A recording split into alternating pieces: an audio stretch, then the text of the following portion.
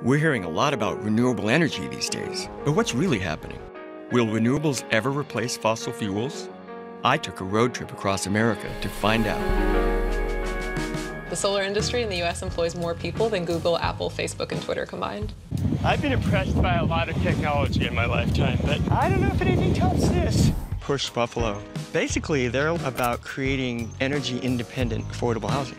Change just doesn't happen. You got to work at it. Raise your hand if you have rooftop solar. Actions you're taking today are taking from the mouths of the people and giving it to a single monopoly. This is grand theft, in my opinion. Talking to my constituents, there's one issue. If Washington will not, we will.